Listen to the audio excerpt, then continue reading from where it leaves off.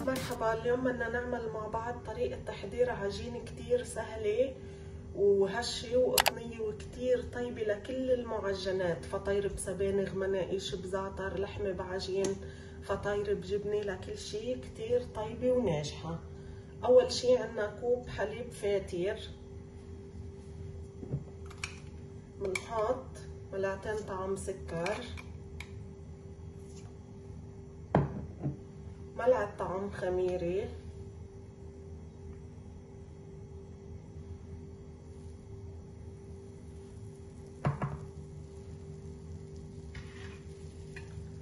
خلطهم شوي مع بعض.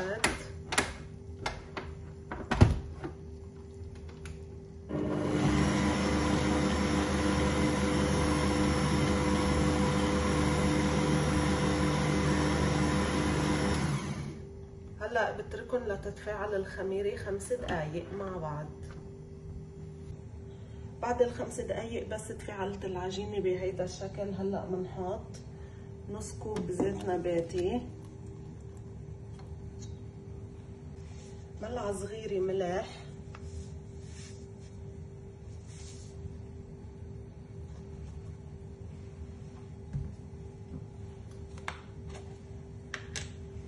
ملعقة صغيرة بيكنج باودر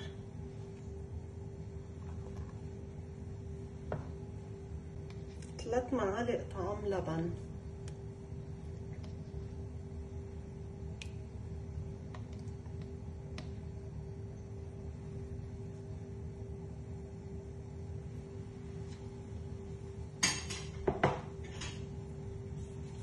تخلطهم شوي مع بعض.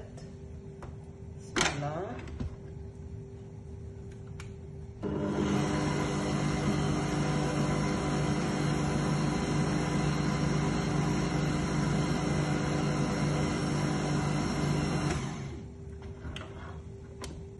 بعد ما خلطناهم هلا بحط لطحين ثلاث أكواب ونص طحين.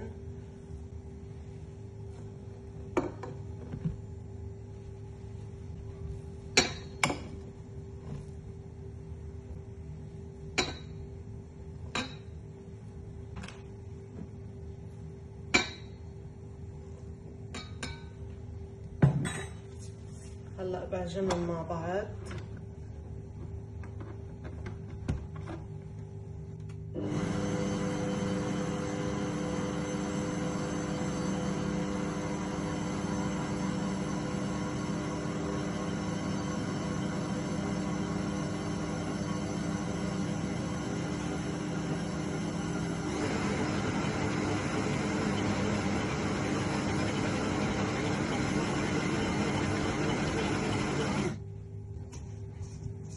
بحط العجينة شوية على الجنب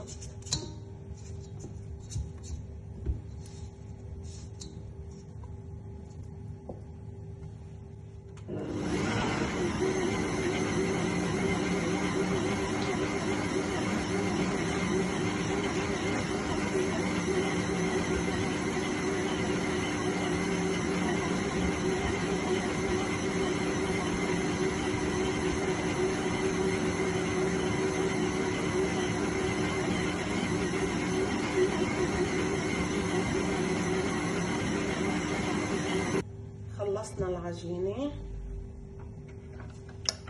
بسم الله.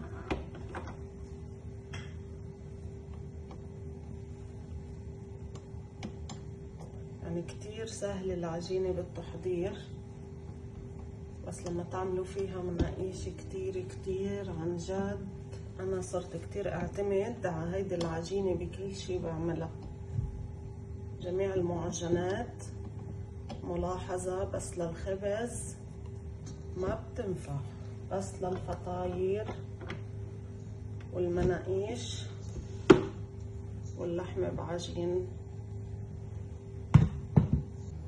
هلأ هيدا الجات فيه زيت نباتي ملعقة صغيرة زيت نباتي بدهن الجات.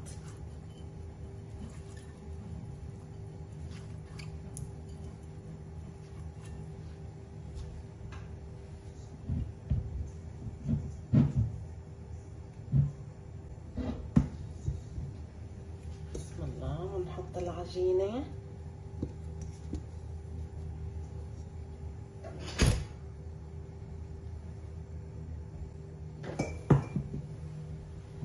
هلا نعملها بهيدي الطريقة. بسم الله.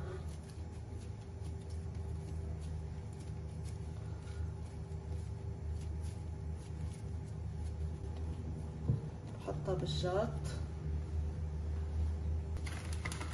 كمان بغطيها وبتركها ساعة لتخمر.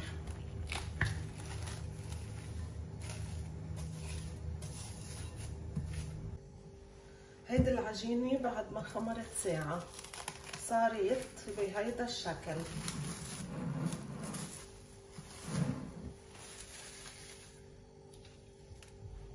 بدي أعمل أنا وياكم مناقيش فيها. فرجيكم كيف بدها تطلع معنا آخر شي العجينة بالمناقيش.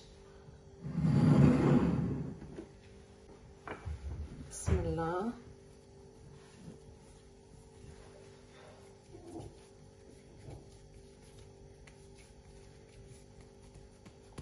شفتوا كيف كتير رائعة.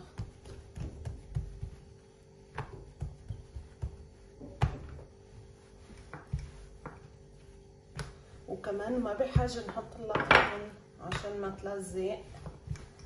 عشان الزيت اللي فيها شفتوا كيف ما بتلزق ابدا.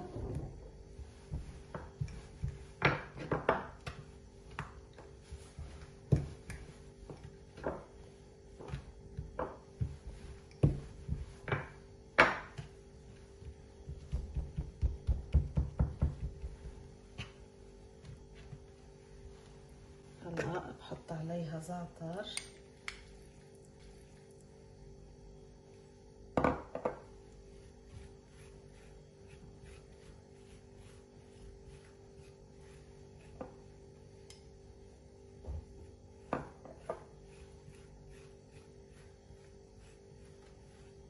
بنحطها على ورقة الزبدة.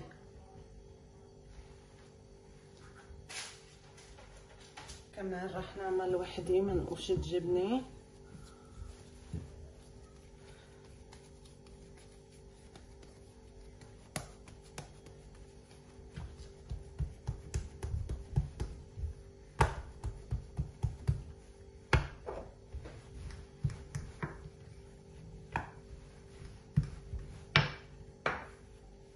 إذا حبينا عملنا كمية أكتر فينا ندوبل المقادير.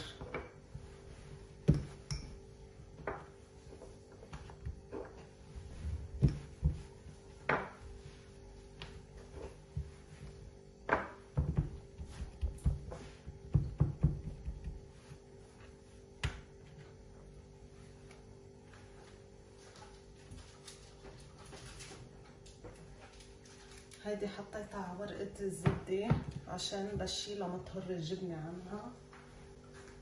هلا بحط جبنة. بسم الله.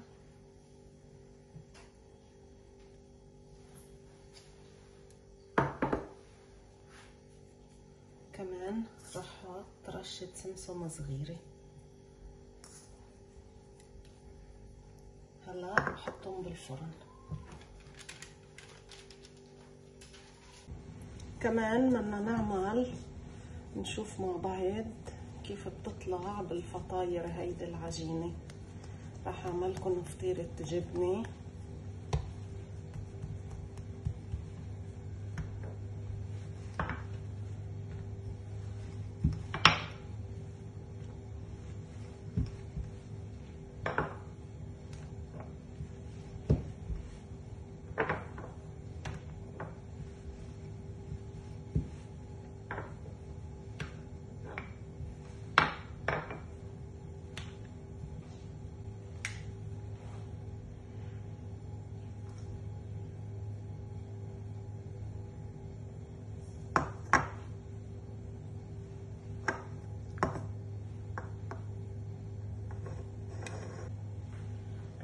شوية زبدة كمان وسمسم